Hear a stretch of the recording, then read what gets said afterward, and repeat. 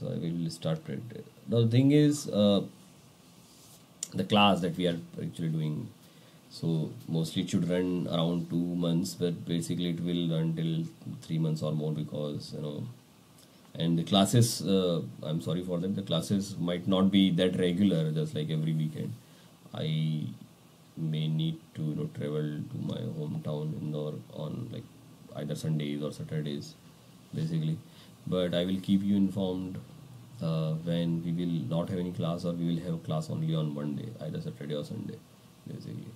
Okay so you have enough time to go through all these videos and come back with any queries because the thing is see scala is also i've been you know reading it and try to you know work on it basically but still i'm not the master of it basically.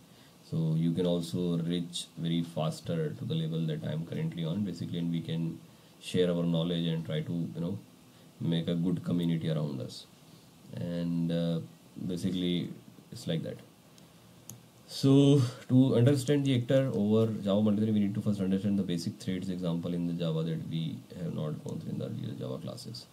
So for Java threads, basically, I have one more document opened. And this is what now I have included this in the Java document of Hadoop class, basically to you know uh, understand the multi-threading of Java. Okay and we'll first uh, try to see the how the multi-threading model basically works and we will implement it by uh, running multiple threads and see that how the data locking okay so basically when we talk about multi-threading right so this is not a new concept. I mean even in AS400 or any other programming languages or mostly in databases uh, databases this particular thing happens okay? So when we say that okay uh, uh, we need to update a record or update a, a, particular record in a table or file basically what we will do. So we need to open that particular table or file in update mode right? So basically that then only we can run update or delete or any other operations in that particular when when the things gets open in update and you're trying to perform certain things so first you will do a lock on that okay? Uh, read and there there were there were multiple out opcodes or whatever but basically what uh, the basic idea is that you are locking the record because you want you want to put a lock on that particular record so that only your program or your process will work with that record okay because you are now trying to modify that record. So so modifying means you need to put a lock on that and then do whatever you want. And once you are done with that particular record or table or for, for that particular table or file you update it and then leave the lock. So that the other process may come and try to obtain the log on the same record to do further modification to it. So this is a general programming model right if you talk about any database if you talk about any other things and if your programming model is interacting with the database so what your programming model can do it can insert the record into database it can read the record from the database it can update the record so all the CRUD operation create read update delete. Okay so the CRUD operations basically for doing the CRUD operations on the database and if you are using any programming model you should have certain kind of things in your programming model that will not you know uh, create the mess uh, in, in the database right? So suppose if one program let's say one of your friend is writing one program and you're also writing the same uh, some some similar kind of functionality and you both need to access the same database table same file and same record and we want to update certain kind of let's say some kind of uh, uh, controller parameter yes or no whatever. So and let's say you are running you run both at the same time identical time they hit the record at the same time then what will happen? Who will get the lock? Who will not get the lock? Who will whose process will be stuck? Whose process will not be stuck? Okay? Because you should not allow any programming model should not allow two same similar process to access the same ob- uh, same record at the same time and try to modify it. Otherwise it will be like kind of phantom updates. You will see that nobody knows that who has done what. Okay so that is what is being handled by multi-threading now in java basically when we talk about java we are not exactly uh, you know talk on the level of uh, database because the example that we are going to see in this multi-threading it is still within the programming model itself. Okay we are not going to access any db2 table or we are not going to access any database at this point in time in order to understand the multi-threading because multi-threading but this is the way that you should understand it multi-threading is similar to the lock, fitting lock and releasing the locks on the database records. But when we talk about a java object the state the state of a java object basically are the uh, what we say so let's say you define two or three variables in java program. So at that particular time what would be the uh, value of that particular variables will define the state of an object. And that state is nothing but it's like kind of a simple record right? It's the record itself in the database. You're getting me? So when we talk about so there are two things in a java object. Okay again let's let's uh, just do a quick refresh. So when we talk about a java object or any object basically it does have two things. One is the state and another is the behavior. Okay state will be defined in terms of the variable values at that particular time and behavior is all the method that those methods that behavior will change the state of an object. I mean uh, because they can they can access the uh, they, they can access the variable values and that variable values can be altered by the methods right?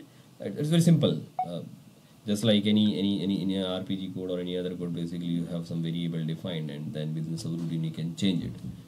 Okay so that state is the variable values okay that variable values if we say that so what will be the variable? Either it would be a string variable or int variable or float variable or double variable. It means that that is the data types. And whatever the values would be a complete record for that particular state right? So one state can be a one record in the database table okay? So just try to understand a particular java object in terms of that it is holding certain data and it is holding certain behavior or method that can act on that data. Or they can change the data they can you know act on the data and then give you some more calculations or some some output out of it. Nothing else. Uh, the java plain java is that is what is called pojo plain or uh, plain old java object pojo. That is what is called pojo in terms of uh, java program. So any java object contains two things. One is state and another is the behavior or you can say the methods. So basically when we talk about it uh, we are talking when we talk about the multi-threading and when we talk about like what we are trying to achieve here is uh, a particular Java state, right? Whatever we are accessing. So let's say we are accessing a Java object, it is having certain state, right? So how many more processes can try to vary its state internally? Okay, so we should not allow more than you know more than one object at a time to vary the state of the existing object in Java. That is what is the ultimate idea so there, there should be two objects. One uh, so there there could be multiple objects. Let's say there are five objects. Those will act on the single identical of single single object of java. So uh, the five other objects will try to modify the state of the single java object that is existing in the heap. Again we should not allow all the five objects at a time in order to modify the state of the, the existing uh, sixth object you can say. Okay so that is what is the ultimate idea of the multi-threading that you should not allow to change the state of a particular object by the multiple other objects. So this is uh, you can you can again again understand uh, for like domain purpose. So you can pick a, a, banking example right? So let's say you are having your saving bank account okay? And then saving bank account uh, what, what are the various ways through which you can uh, withdraw the amount or withdraw the uh, you know money from your saving bank account? First is like you can go onto ATM, right? And insert your ATM card and take some money out of it, right? So there should be some entry that is done in your account that will debit some amount and then uh, remain, and then it will tell you that this is the remaining amount in your account. So that that's all we, SMS that we will get, right? So whenever let's say we take thousand out, thousand rupees out of our uh, account, it will just send an SMS. The other way is internet banking, right? So let's say you are you are transmitting uh, you, you are transmitting certain money uh, from one your account to some other family member account or any friend's account right? Now what will happen is let's say you insert atm and at the same time you are having the mobile in your hand and try to do the internet banking right? Now the thing is let's say you are having only 1000 rupees available in your in your uh, account. Now you try you try to do possibly this thing is that transfer that remaining thousand rupees in one more account and try to you know uh, try to uh, take that money out of ATM at the same identical time okay? So you should you should shoot this two transaction at the identical time so that they will hit to your account at the same time okay? Or around like it. So basically if your model is not robust or your model is not like you know uh, saved or basically you know uh, if your model is not such that uh, that will restrict one of your transaction until unless it, it, it does not perform the transaction that hit first to that particular account it will be the problematic thing. Okay what will happen is if you do not have any mechanism to restrict your bank account to be accessed uh, accessed only one process at a time basically what will happen is you will end up or i mean the bank will end up sending your thousand um, thousand rupees uh, to one more account and that same thousand rupees can be easily taken out from the atm also at the same time. If you're trying to do this two same thing uh, on the same same point in time. Okay so this will actually give an idea that how problematic it will be if you do not put this multi-threading uh, or this concurrency basically uh, you know happen uh, uh, basically when what I'm trying to say is that if you do not implement your application in such a way or in such a way that will handle this kind of situation basically it will be problematic for the bank. I mean they will end up losing a lot of money right? So th- that should not be done right? So if you have only thousand thousand rupees you can do only one transaction. Either you can take it out from the atm or you can just send that thousand rupees to any other account. You cannot do two same two things though even if you are trying to do them uh, on the same point point in time but should not have been done. But if your application is not handling that basically you are actually gaining money out uh, with that kind of approach right? And bank is losing money on that. So we will try to create the same example okay? So we will we will try to create a method that will uh, we will try to create a class first of all that will have some kind of withdrawal method and then we will some we will put some money in that and then try to uh, try to you know debit it from our account. But before that uh, where what is one more? So the banking is one example that uh, that gives some idea behind it. Okay so that could be dangerous if uh, uh, we do not implement multi-threading properly. The uh, the second is railway reservation right? Again um, there are multiple users who are trying to book the seats on uh, IRCTC basically and only one will get it. Okay so again basically nobody should get I mean no two person should get the same seat okay, on the same same same coach and same seat number basically. So all uh, this reservation system is also in a complex multi-threaded system you can say. You can you need to design like that. Okay.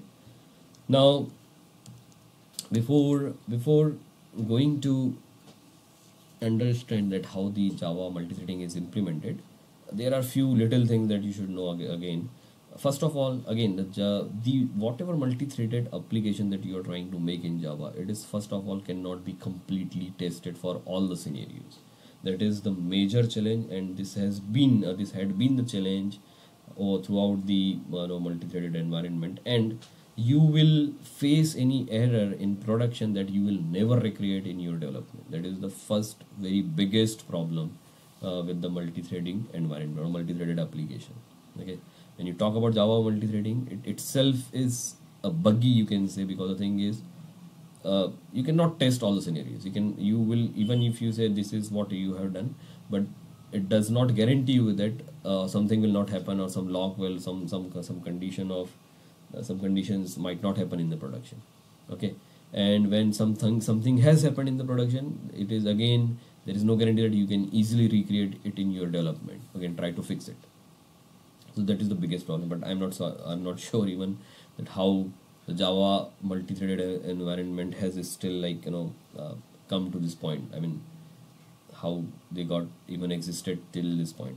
Now every java multi-threading environment or multi-threading application the multi-threading part is getting upgraded to the Akka framework. That is more uh, there you can be guaranteed that okay this is this will not happen or this will happen.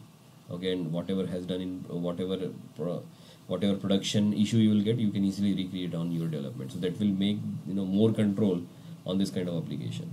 Okay it is yet fast it is yet readable it is yet like you know very very simplest. So they, they have made it very simple now.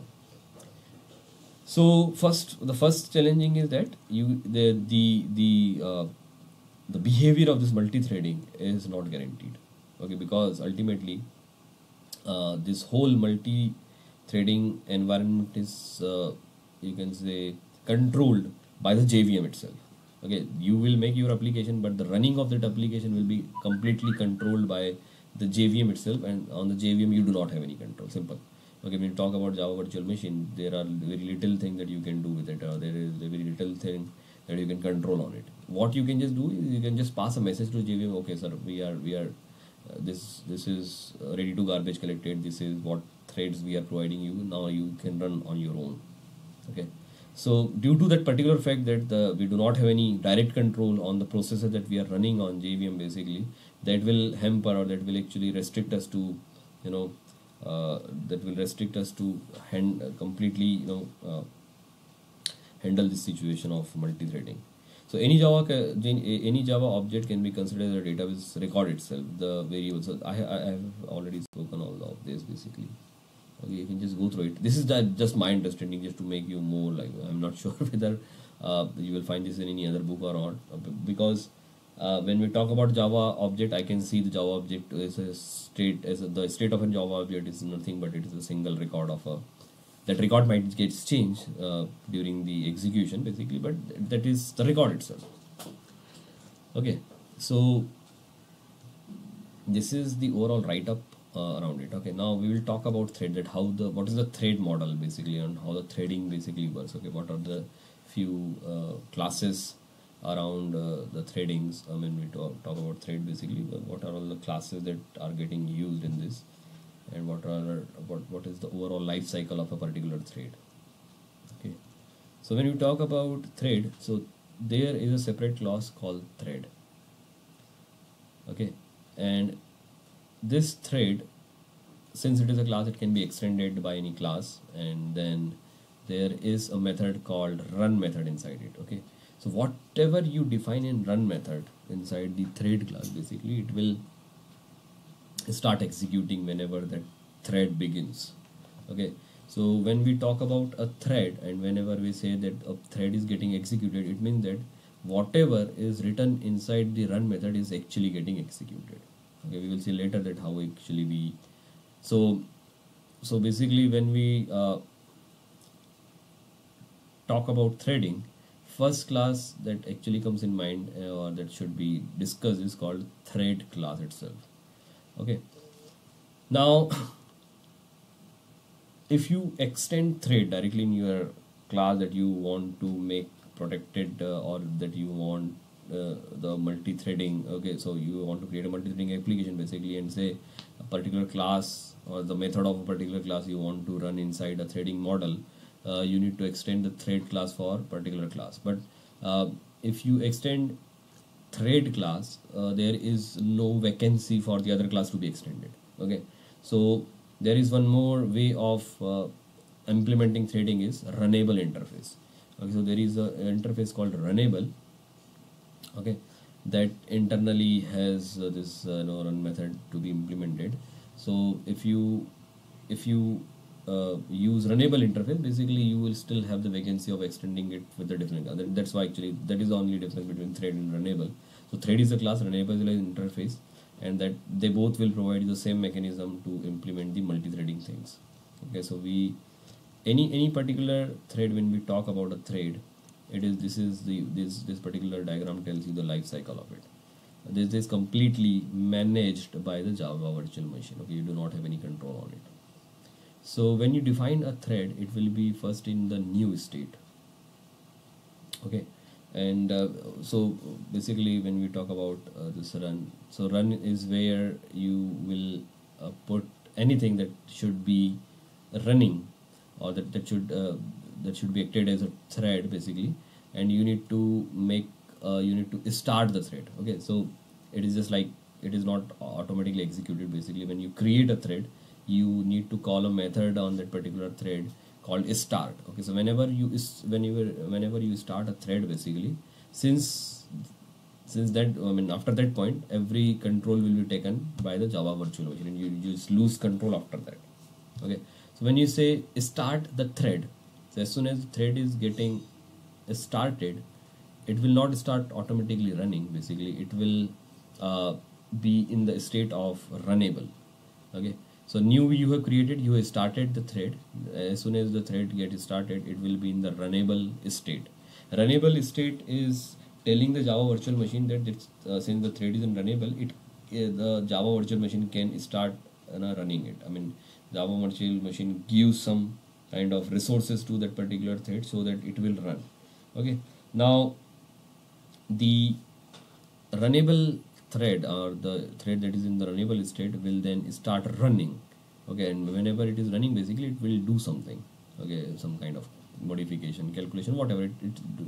But the thing is, it cannot keep running. I mean, again, there is no hold of you on that particular process that uh, the runnable thread will start running and now it is executing but automatically uh, what what java virtual machine may do is that it will it will start it will stop it running okay and then put it back into the runnable state okay. So when it is stopped running it will be like either wait, waiting and blocking state for certain time for few millisecond you can say and then it will again come back to the runnable state. It means that it does something okay and at that point it will be freezed and again put back into the runnable state and then again uh, JVM will give after some time that runnable thread again into the running state it means that uh, it start again executing because the thing is Java virtual machine there there there is a component called thread scheduler in the Java virtual machine. That thread scheduler basically handles all the runnings of threads that, that, that those ever will come to that particular environment. So any thread whenever it whenever it comes basically and if you issue start on it, that thread will be put into the runnable state. And all this state will be managed by then uh, the thread scheduler. Now any runnable thread can be make running at any time and any running thread can be again put back into the runnable state anytime okay? You do not have any control on the java virtual machine can handle it okay? But what java virtual machine will guarantee you that let's say multiple threads are running at the same time all those threads will definitely come to an end and will be marked as a dead state. That it means that whole execution of that thread has completed. Okay that is what is guaranteeing by java virtual machine. But the way or but in what sequence they will be called they will be executed okay there is no guarantee on that. When one thread will be started and when one thread will be started stopped basically there is no guarantee on that. All things will be handled by the java virtual machine thread scheduler. Again that's why this model is so uh, you can see uh, not uh, reliable okay? And since it is not reliable and it's not predictable basically there is no way that you can test it completely end to end. Okay and then still you need to have certain possibility of uh, uh, things where there will be mess in multi-threading. Okay. Now there are some rules uh, for threads. Okay to create a new thread you need to create an instance of a class that extends the thread class of or runnable interface. Okay so this runnable interface and thread class you can use either of these in order to create a thread. Okay so either you will implement uh, the runnable interface in your class that you want to create the threads for or you can extend the thread class. You can create a single thread or multiple threads using step one. So you can either i mean there could be multiple threads. Multiple thread means that multiple uh, i will try to just show okay so I will, I will i will draw it once we just go through these points. So the threads those will be created will be in state new okay? Then you need to start the thread by calling the method called start on it okay? So uh, so when you say start from new it will turn to be the runnable so the first state of any thread because it is a new thread so uh, always the state will be a new. And then when you issue the start command or sorry start method on that particular thread it will be put into the runnable state. And once the runnable state you will just lose all the control on this particular thread okay? Then from this point onwards uh, JVM will handle all the states and their you know execution internally. So once the thread is started it will be in the state of runnable that means the threads are ready to run but that does not mean that they will be immediately in running state okay so it is just mark to it is just mark runnable it means that uh, java virtual machine thread scheduler can make it running at any time okay but there is no guarantee the running of the threads completely depend on one scheduler uh, that is called thread scheduler. The thread scheduler is the part of JVM. The thread scheduler will have a pool of threads. Pool of threads means the multiple threads will be there in this pool, that will either in the running state or enable state and then this pool of threads will be managed by the thread scheduler. Which it picks the threads those are in the runnable state. When the thread gets picked from the scheduler that thread will be in the running state. Okay. So the running thread can be put back into the runnable state by the scheduler and then it allows the other threads from the pool those are in the runnable state to run. Okay. So ultimately it is kind of uh, uh, you can say sharing sharing of resources because uh, JVM should not allow only one thread to run at any time and use all the resources of your JVM right? Uh, basically because uh, uh, again the when you submit a thread again this is kind of a job only okay? So when you got when you talk about the AS100 job scheduler okay? Uh, you will see that okay there are multiple jobs uh, that you are submitting okay? But still i mean that job will independently run but you can set the priority of job that uh, when you make the priority of job higher 5 or 10 whatever is the number basically. Uh, but i think there is still not no guarantee that it will actually get executed before uh, any other job that is having the lower priority. So on the threads you can when when when you start a thread when you submit the thread when you create a thread you can also put the priority that okay this thread is higher priority than another but again there is no guarantee that JVM will definitely give its high, higher priority to it or not okay? So it is very um, the model that is having very we do have very less control on this model. So the running threads can uh, okay so the running threads can be put back to the runnable state by the scheduler and then it allows the other threads from the pull to the runnable state too. So this is to give proper share and time to run each thread in the thread pool okay it should not be in the it should not be the case that all, all at all the time one thread is getting all the resources and then when it finishes then other threads will get. Okay it's not that it's not that case so but again there is no guarantee of the sequence and the time for which the scheduler will allow the threads to run. But one is thing is guaranteed that every thread is in the thread pool will complete its life cycle. There is nil or very little we can do to influence the thread scheduler. Okay? So that is the problem uh, with this multi-threading so it's 922 okay so at 925 we'll take a break and then we will uh, continue further so the other point is once the thread is completed it will be marked as dead. Okay so that is that is what we have seen in that. Okay so and once the thread is started it cannot be started again. So if you say say that thread dot start you cannot issue the thread dot start one more time. Okay otherwise it will give error that it is already been started and you should not start it again. So these are all the rules below this we will try to implement this kind of thing and try to understand it how, how what are the problems and so there are two ways to create a thread. You can extend the class with a thread class but this is a bad way else you cannot extend to other class if you want. So extending class is always better and that's why the interfaces are there because you can implement multiple interfaces at a time. Because if you extend one class basically there is no uh, uh, room for extending one more class right? That is what is the java rule so to implement the runnable interface basically in both the above ways you need to override the run method and provide its implementation. So whenever we talk about uh, runnable and uh, runnable interface or thread class basically there is some method called run. That is very important that we need to understand that we need to override and give the implementation to it. And whatever is there in this run method will automatically execute it when the thread will start. Okay. So for this uh, understanding of multi-threading application basically we'll take an example. So the example should be like this. So you have an account class which you need to manage the amount for an account right? So you have an account class. We will create an account class in that we will have uh, any a variable in which we will hold our amount. Let's say we will start with 1000 rupees. And there will be a withdrawal method method in that class that will act on that particular um, variable that is holding the amount of money and whenever uh, that withdrawal metal will be called it will debit the amount that will pass to withdrawal metal. Let's say uh, you pass 100 uh, rupees to withdrawal metal then it will first check whether the amount is not zero in your account. If it is not zero and the amount that you are trying to withdraw is lesser uh, if you take the difference between the amount uh, remaining and the amount that you want to take if it is more than uh, zero basically then you can easily safely withdraw that amount from your account and you can keep it multiple times till your balance gets zero right? If your balance is zero then it should not allow you to uh, withdraw any more balance because it will just tell you that the the the amount that you are trying to withdraw is more than the balance in your amount.